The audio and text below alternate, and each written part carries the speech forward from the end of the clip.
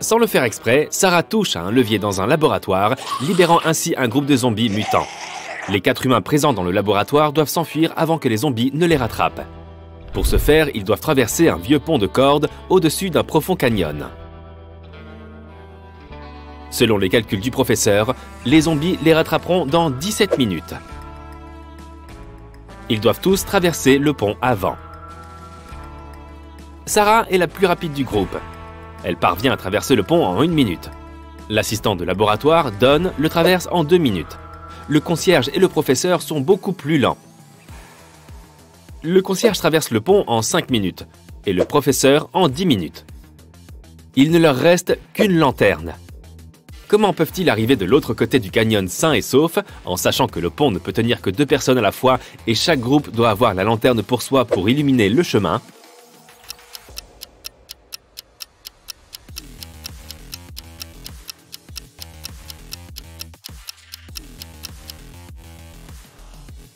Voilà comment ça marche. Sarah et Don traversent le pont en premier, avec la lanterne. Cela leur prend deux minutes. Sarah, la plus rapide, retourne sur ses pas avec la lanterne. Ensuite, le professeur et le concierge traversent le pont ensemble. Cela leur prend 10 minutes. Cela nous fait un total de 13 minutes pour le moment. Don attrape la lanterne et il traverse à nouveau le pont pour aller chercher Sarah. Il leur reste ensuite pile poil 2 minutes pour traverser le canyon, couper les cordes et se sauver. Hélène s'achète enfin une nouvelle guitare. Elle veut commencer tout de suite à en jouer, mais elle doit aller à l'école. Elle laisse la guitare dans sa chambre, verrouille la porte et sort de la maison. Quand elle revient le soir, sa guitare a disparu. Elle sait que c'est forcément quelqu'un de sa famille qui a fait le coup. Elle les interroge un par un. Sa mère lui dit qu'elle n'avait même pas remarqué qu'Hélène avait acheté une guitare. Son père lui répond qu'il est passé devant la porte de la chambre d'Hélène et qu'il a vu la guitare, mais qu'il n'y a pas touché. Son frère dit qu'il n'est pas monté au premier étage de la journée et qu'il n'a donc pas vu la guitare. Hélène comprend tout de suite que quelqu'un ment. De qui s'agit-il?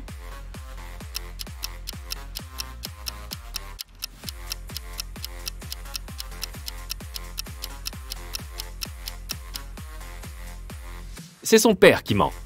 Il a dit qu'il a vu la guitare en passant devant la porte de sa chambre. Mais c'est impossible. Hélène avait fermé la porte à clé en sortant.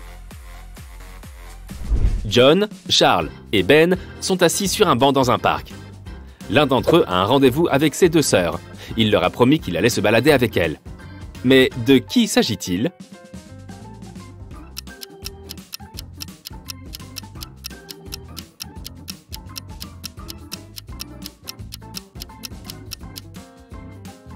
C'est Ben. Regarde son poignet. Il porte deux bracelets. C'est probablement ses sœurs qui les lui ont offerts. Josh marche la nuit dans une forêt et il se retrouve devant un vieux château. Il est curieux et il trouve le moyen de se faufiler à l'intérieur. Il traverse un couloir et il rencontre trois personnages encapuchonnés. Josh leur demande qui ils sont et ils répondent Deux d'entre nous sont des loups-garous, le dernier est un vampire. Ils disent à Josh qu'il aurait mieux fait de ne pas entrer dans ce château et qu'il resterait prisonnier s'il ne trouvait pas la réponse à cette question. Lequel d'entre nous est le vampire? Selon les règles du jeu, Josh ne peut poser qu'une seule et même question à tous les personnages. Cette question ne peut pas être « Es-tu un vampire ?» Après quelques minutes de réflexion, Josh décide de poser cette question. Quelle est la couleur de tes yeux? Il comprend qui est les vampires et il parvient à quitter le château. Pourquoi a-t-il posé cette question et pourquoi s'en est-il sorti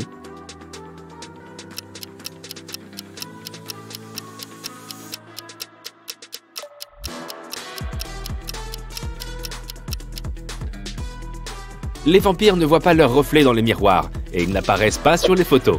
Le vampire ne sait probablement pas de quelle couleur sont ses yeux. Un après-midi, quatre amis se retrouvent dans un café. Quelqu'un leur demande leur âge et elles répondent avec une énigme. Mia a trois fois l'âge d'Anna. Il y a trois ans, Anna avait un an de moins que Claudia aujourd'hui. Et Olivia a le double de l'âge d'Anna. Peux-tu donner le prénom des filles dans l'ordre, de la plus jeune à la plus vieille?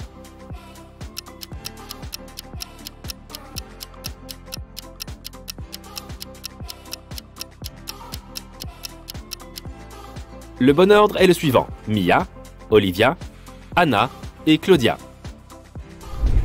C'est bientôt l'anniversaire de Marie et elle décide de s'offrir une journée détente dans un spa. Pendant la séance de massage, elle s'endort. Quand elle se réveille, elle découvre que l'argent qu'elle avait dans son sac a disparu. Elle a des doutes sur trois personnes. Erika, la caissière, dit qu'elle était en train de déjeuner à l'arrière du bâtiment. Catherine, la masseuse, répond « Je suis allée chercher de l'huile dans l'arrière-boutique. » Et Monica, une cliente, affirme qu'elle n'a rien vu et qu'elle attendait simplement son tour. À ton avis, Sherlock, qui est la coupable?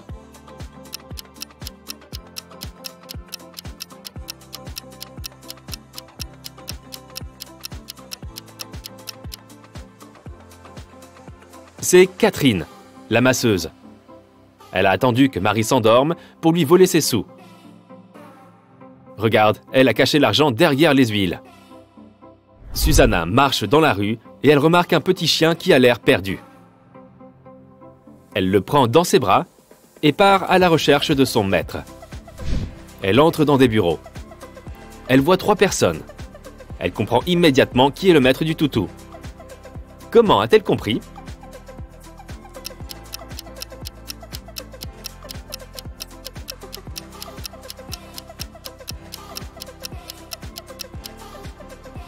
Regarde, l'homme du milieu est assis sur une laisse. Tu viens de rentrer d'un long voyage. Tu as dû acheter une nouvelle valise pour ranger tous tes achats. Une fois rentré, tu réalises que tu as oublié le code pour ouvrir la valise. Heureusement, tu avais écrit une note sur ton portable pour te donner un coup de main en cas d'oubli. 682. Un chiffre est bon et il est au bon endroit. 614. Un chiffre est bon, mais il est au mauvais endroit. 206. Deux chiffres sont bons, mais ils sont au mauvais endroit. 7, 6, 8, aucun chiffre n'est bon. 3, 8, 0, un chiffre est bon, mais il est au mauvais endroit. Quel est le code de la valise?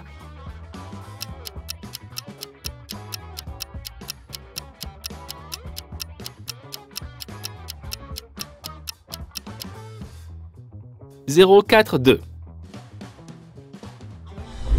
Un matin, suite à trois évasions, le détective Smith se rend à la prison. Les prisonniers n'avaient ni la possibilité de se voir ni de se parler, mais ils ont réussi à organiser leur évasion ensemble. Ils prenaient leur douche dans la même salle de bain, mais toujours un par un. Comment ont-ils réussi à communiquer?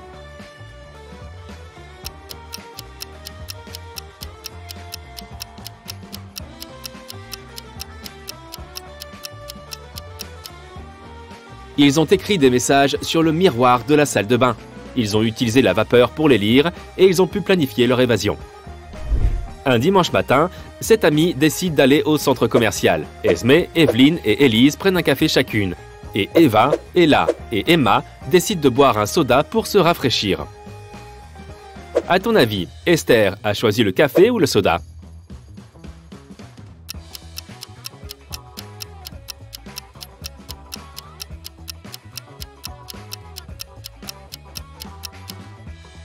Elle est en train de boire du café. La solution se cache dans les prénoms des filles.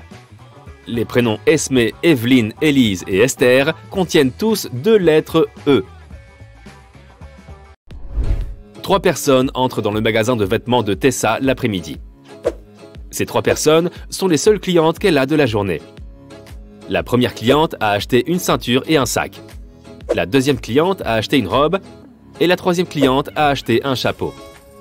L'une de ces trois personnes est une criminelle. Tessa appelle immédiatement la police. Comment s'en est-elle rendue compte?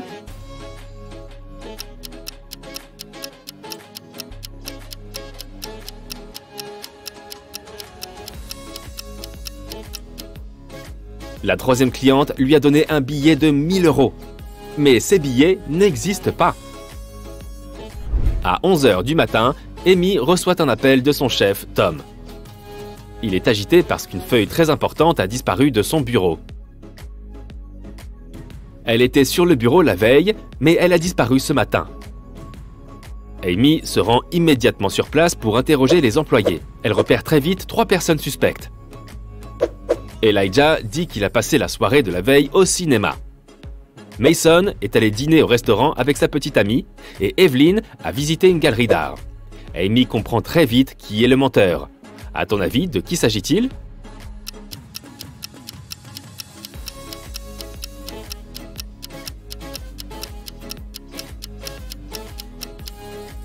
C'est Elijah. Regarde attentivement son ticket. Il n'est pas déchiré, ce qui signifie qu'il n'est pas vraiment allé au cinéma.